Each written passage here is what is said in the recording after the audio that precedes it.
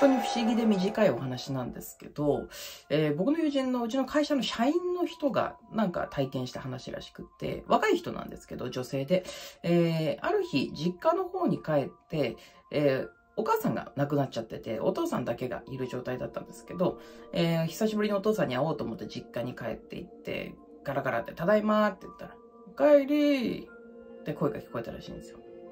あれなんかあんま元気なさそうって。ご飯とか食べてんの？そう言いながら、お父さんの声が聞こえた部屋を通り過ぎて、自分の部屋がある2階の方まで上がってったそうなんですね。ああ、食べてるよ。ああ、それならいいけど。で、着替えていって、そこから下降りていって、今の方に行こうっていうふうに思った瞬間、ガラガラって開けたら、ああ、久しぶりだな。そんな風に今にいるよぼよぼの見ず知らずのおじいさんに言われたらしいんです。ええー、誰？と思ってバーって逃げようとしたら玄関がガラガラって開いて。おう、なんだ帰ってきてたのか？あ、お父さん、リビングに知らない人がいる。え？ってバーって見に行くと、誰だあんたおう、帰ってきたんか？そう言って、そのおじいさんは家を出て行こうとしたらしいです。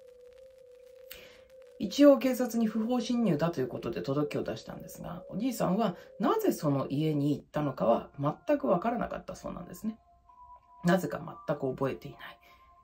どうやって入ったのかも覚えていない。それも不気味だったんですが、その体験した女性曰く一番怖かったのは、ただいまって言った時のお帰りという声。確かに自分のお父さんより弱々しい声ではあったが、扉を開けておじいさんだって認知した時の声とは全く違う。なんなら自分の父親に似た声に聞こえたそうなんです。あの現象一体何だったのか？おじいさん、後から喋ったらとってもいい人だったんで、物も盗んでないし、もしかしたら何かに取り憑かれてたんじゃないかなと思って、自分の父のことを不安に思ってしまいました。と言ってました。えー、何事もなくね、ご病気とかもしなければいいなと願うばかりです。